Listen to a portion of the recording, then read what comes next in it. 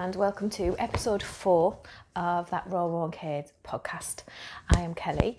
Um, I'm also known as Raw Raw Kids through most of social media, but um, the main places you'll find me is uh, Instagram and YouTube these days. Um, but I'm also Raw Raw Kids on Ravelry and things like that. Um, this is a knitting and designing podcast. Um, I'm a knitting designer based in the northeast of England, and um, yeah, if you are a, a new viewer, then you are more than welcome. And if you are a returning viewer, then thank you very much for having faith in coming back. um, I'm actually in a different spot in my house um, this episode because my desk is so untidy that I couldn't possibly put you through that. It would just be like chaos behind me. Um, I also need to apologise massively for the state of that um, video last podcast.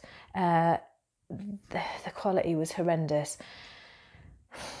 I've had quite the nightmare when it comes to recording. Um, I have an iPhone 11, um, so it's one of the newer models. It's not the newest, I don't think, but it's one of the newer models of an iPhone. Um, but I have a Microsoft computer laptop, so getting my videos off my iPhone onto my computer has been an absolute nightmare and to the point where um, if I record longer than 20 minutes, the computer can't see the video and I'm having to cut them up to make them smaller and then it can see them and then it won't play them and oh, nightmare. So last week or last fortnight I thought I'm gonna I'm gonna use my camera and we'll do it this way, not realizing how bad that it would be. The camera's quite old. I should have known. Um, I couldn't see anything. It's got no viewfinder on it or anything. I couldn't see. And I, I was so swamped with everything else, I just didn't have time to record it all again. So I'm really, really sorry. it was a dodgy one. So this week, I'm using my old Galaxy Android phone, um, which is why I've got a little, that's probably just went, but I've got a little microphone on um, because you have to with this phone. Uh, and hopefully it'll all work. Um, if you hear pottering around, my boyfriend is upstairs walking about. My dog is also right here next to me, and she gets up and down and huffs and puffs and scratches and moans and everything else. okay, let's get on with what we've got to get on with. So, um, finished objects. This last two weeks, I've had a, not a lot of knitting time at all.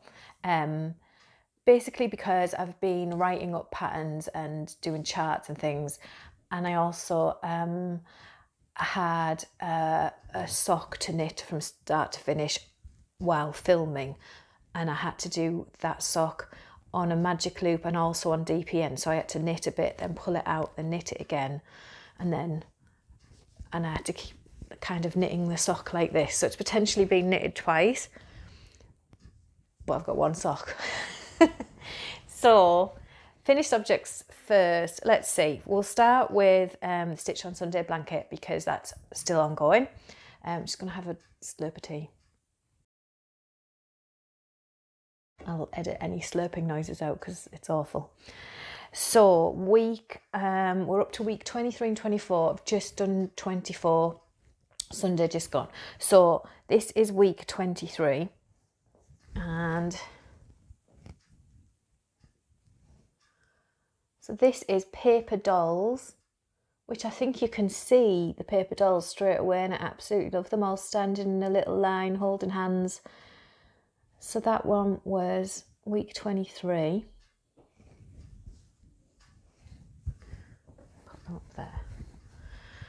And then week 24, which has just come out just this Sunday, is Dotted Diamonds. See that one? So it's like a usual diamond pattern, but it's got a little eyelet in between each one. So that's that one. So that's the two blanket squares that we've done this week. Keep looking in the wrong place, I'm sorry. Um, and then finished objects. Well, that's I'm classing that as finished object, even though I've already said before, it's a blanket. It's all going to get sewn together, so it's not actually finished. I've finished the square, so I'm probably cheating putting them in finished objects. But I've got nothing else to show you this week, so this is the finished objects. So my other finished objects is um, these socks. So this is um, the sock that I'm using for a tutorial of how to knit socks. I've got the other one here, but this one is the one that was knitted. I did the cuff and then I did the cuff on Magic Loop, then I did the cuff on DPN. Then I knitted the leg. I didn't knit the entire thing on camera. I like knitted a section of it on Magic Loop then I pulled it out. Then I knitted the section on DPN. Then I knit the rest off camera. And then I did the same with the heel flap and the heel turn and then the gusset. I had to keep pulling it back and re-knitting. And then down to the toe. So it, I've only just finished recording the Kitchener Stitch tutorial for the toe this morning. Um, so I'm going to write that up and get that into testing this week. So they are called um, Ballad of the Tenderfoot, which I thought was quite cute. Uh, so they're going into testing, um, but they are finished. That is a finished object because they're done. So that's those. Um, what was I going to say? I can't remember. I haven't got any other finished objects. That's it, because that sock took so long. And what else was I doing? I have been knitting other things. I was working on, so we're down to WIPs now because that's it. That's all I've finished. so haphazard. So we're down to WIPs. So I did finish a vapor sock um, by Curious Handmade, Helen Stewart of Curious Handmade. And these are put my hand in so you can see. These are really, really pretty.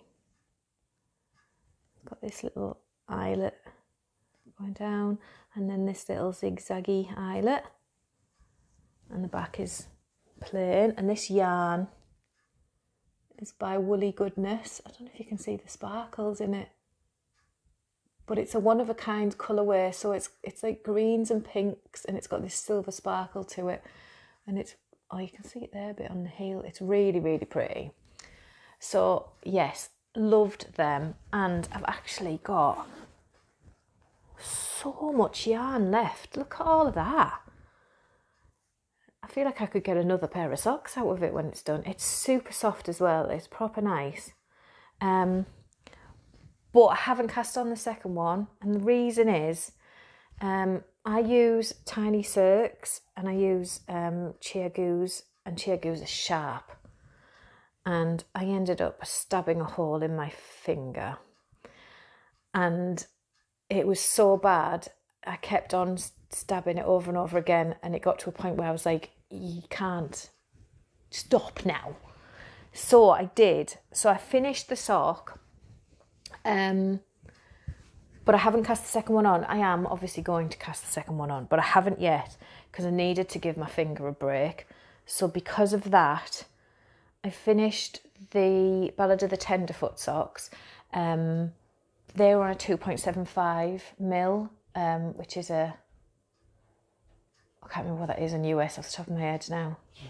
But they're on a 2.75 mil, which is slightly thicker because the um, vapor socks are on a 2.25.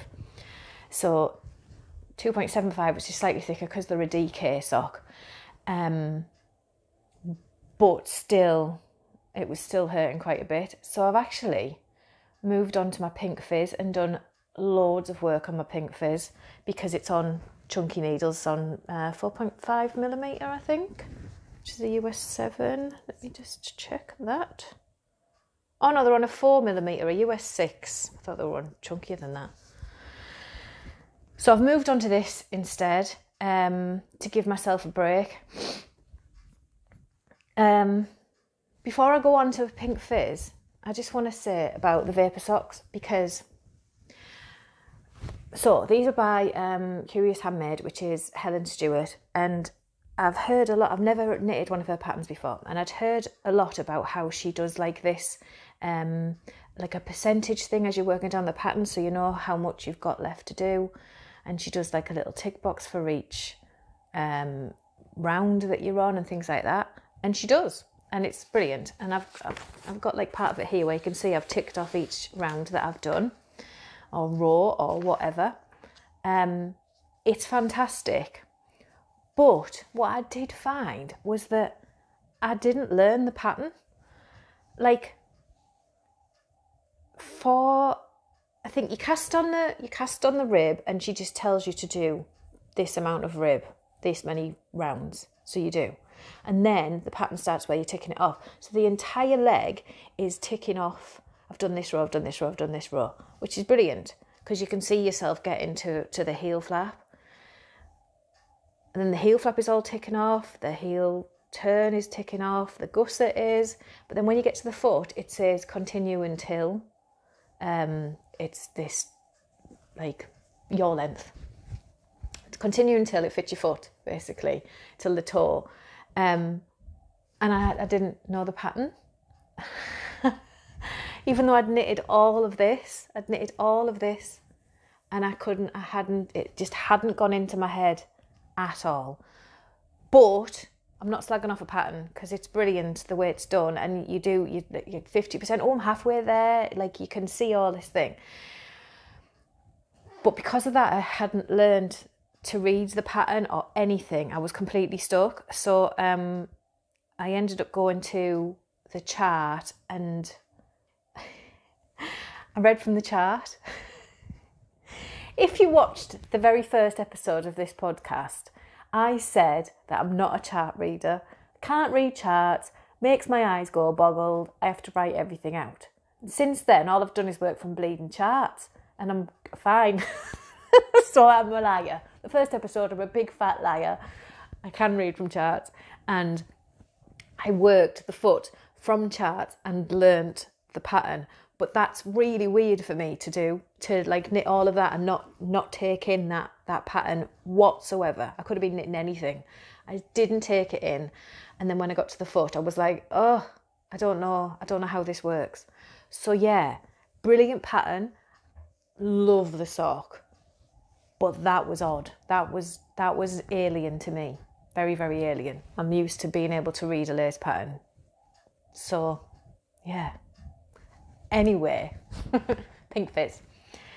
I did say last podcast that I wasn't going to show you Pink Fizz until I'd done a big chunk, and I can't quite remember how big it was. Um, the last in the last podcast, but now it feels ginormous. So this, oh, this is Pink Fizz now. So I'm proper chugging along. Um, that's the back I'm showing you but they're the same. It's just that the back's got a longer rib. So yeah, I'll show you the pattern a bit closer up.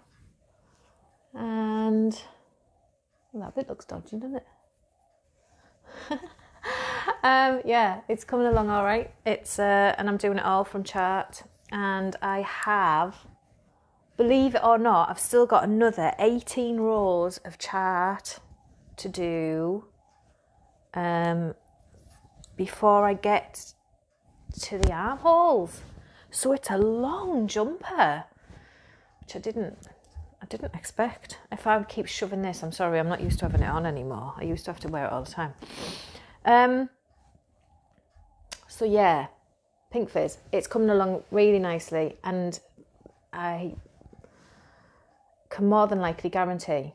I can I can guarantee because I knit it every Friday anyway. Um, but that's all it used to be. But now I'm knitting it on a lot of nights as well because I've got nothing else to knit while I rest my finger. Um,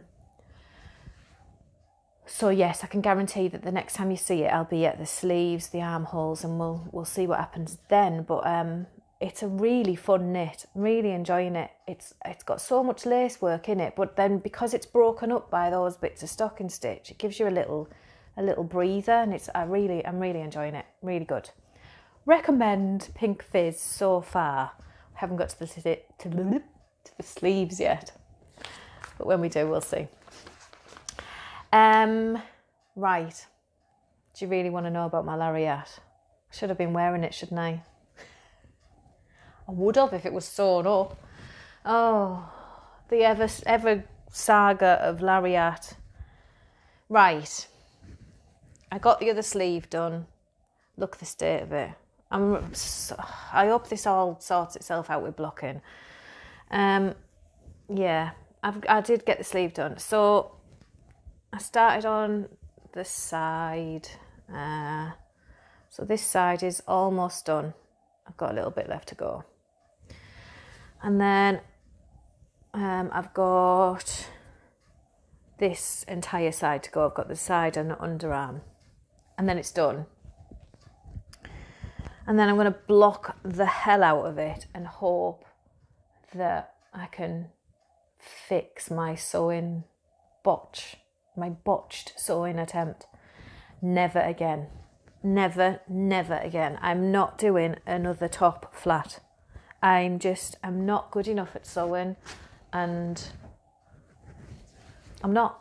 That is my intarsia and sewing up are two things that can just get out. I'm not a fan and I'm rubbish at them, absolutely rubbish at them. And I have no qualms saying that. I'm bad, I'm bad.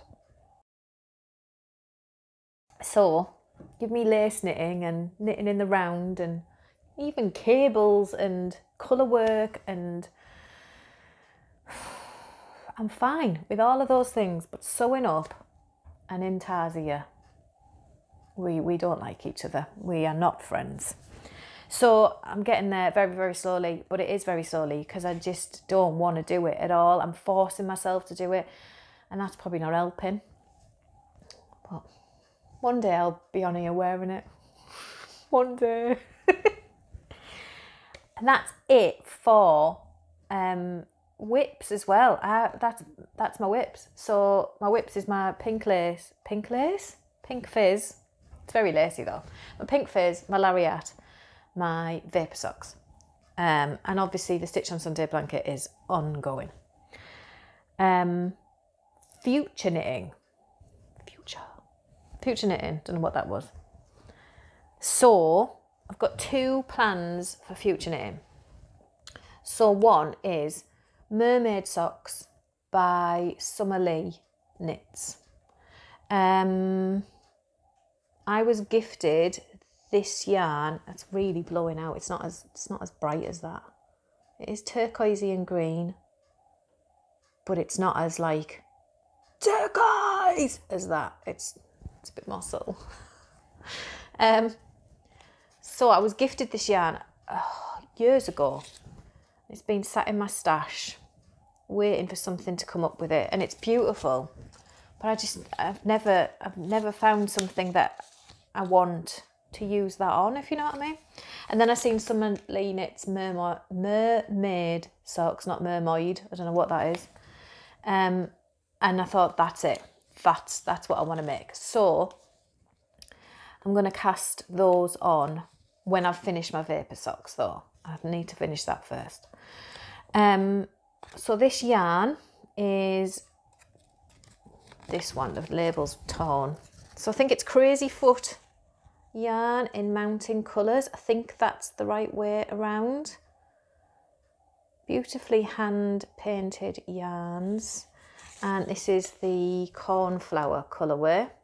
I have no idea if that's still available. This was gifted to me a long time ago, like four years, five years ago. But it's a really nice yarn. It's quite a, uh, it's not like soft and flouncy. It's like a sturdy type of yarn. So I think it'll make a really nice pair of socks. So that's what I'm planning. God, that looks so bright there. And it's really not that bright. It's beautiful. Um, so mermaid socks, that's getting cast on in the next couple of weeks once I finish my vapor sock. Um, and then I did a thing. So for Christmas, um, Terry, my partner, bought me some um, hedge hedgerow yarns. He bought me two skeins of this. So this is hand dyed, hand painted yarn. This is a one of a kind colourway, and it's in um, her silky singles. So it's 70% superwash merino and 30% silk. It is incredibly soft and incredibly beautiful. I don't know if you can see all the colours in it. So it's a bit lighter up this end as well.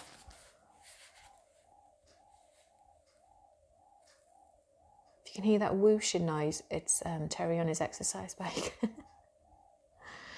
so he bought me two skeins of this for Christmas this year, just gone. And each skein has got 400 i keep looking in the wrong place i'm really sorry. Each skein has 400 meters in it. And i've been really really hankering to knit a summer top and i had my eye on one which can't for the life of me think what it's called now but i bought the pattern i'll put it i'll put it here um, i'll put a picture of the pattern so i bought the pattern and I really want to knit this top. But for the size that I need to knit, I needed 920 meters, I think, or 960 meters, one or the other. I can't quite remember. And I had 800 of this, and I, I really want, I didn't want to, because I'm not really a shawl sort of person. I think shawls are beautiful, but I just, and I have a couple, but I don't really wear them all that much. So, and I wanted something that I was going to wear a lot with this. Or not wear a lot, but like wear, probably wear. Not just sit in my cupboard, basically. So, because this is one of a kind and he got it at Christmas, I obviously can't get another skein of it. So I did a thing. I went hot on Hedgerow Yarns website and looked at a silky singles and bought this one, which is Peach Melba. So, what I thought was, see, there's some quite peachy tones in the one of a kind one. Hope that's focusing for you. And I thought maybe because the top, the top is is um, it's plain and then it's got like this lace across the yoke. So I thought, what if I did like a fade?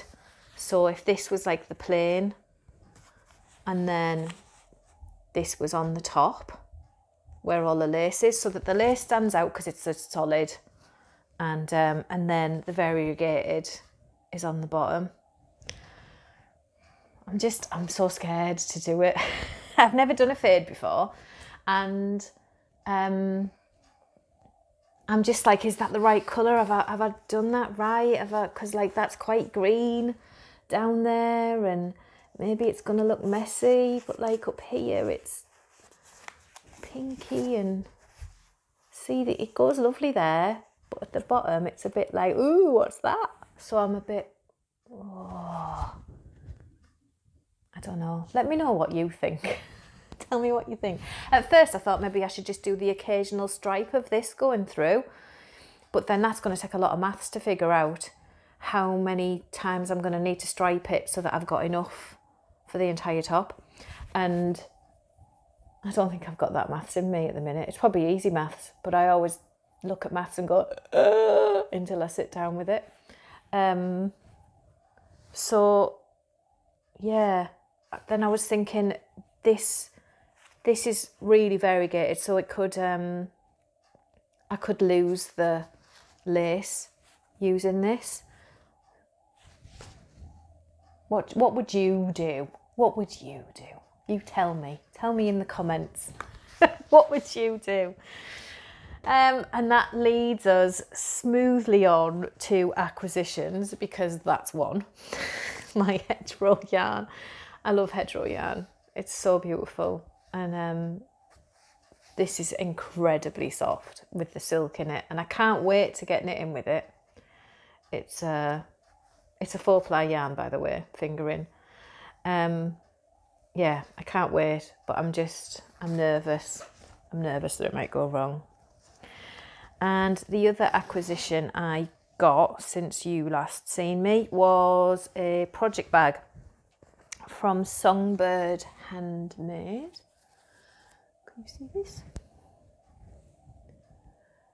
So this is all the way from Canada from Katie at Songbird Handmade and she does these beautiful they curl over and everything beautiful um, project bags that are like fit a fair bit in there to be fair. I've been putting socks in there but um, yeah they can fit fit a good a good load of stuff in there. So I've been wanting one of her bags for ages. It's the same on both sides as well. I've been wanting one for such a long time and she did a shop update that was because um, normally when she does a shop update it's when I'm asleep because she's in Canada. Um, but she did one and it was like nine o'clock at night for me. So I set an alarm in my phone and got on there and got one. So I managed to get one.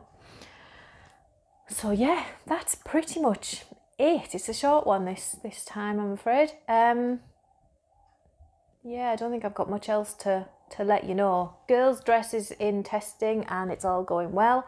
It's hopefully going to be released in July time.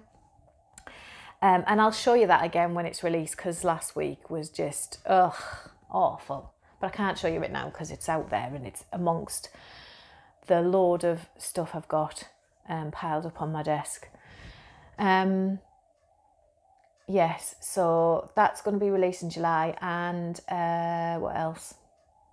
Socks are going into testing, Ballad of the Tenderfoot. So if you fancy testing some socks, especially if you've never knitted socks before, then drop me a line. If uh, even if you have knitted socks before, drop me a line if you fancy testing them because that'll be going out soon. Um, and that's it. So hopefully next time I see you, I'll have another vapor sock finished, a better finger without a hole in it. You can't even really see it anymore. You definitely can't see it on here. No, won't focus. It was a big hole. I proper went in there. So yeah. Um, and hopefully I've finished my vapor socks and hopefully I've cast on these with this Day-Glo yarn that isn't actually Day-Glo and and hopefully I'm a bit further up with Pink Fizz and hopefully that's that I'm wearing the lariat. If I'm not, it's going to be in the bin. I'm telling you now, I'm so close to just going frogging the lot. right, that's it. So um, I will see you uh, in a couple of weeks' time. And um, yeah, hopefully we're a bit further on and I've got a bit more to show you. So have a lovely rest of your day and enjoy your knitting. See you soon.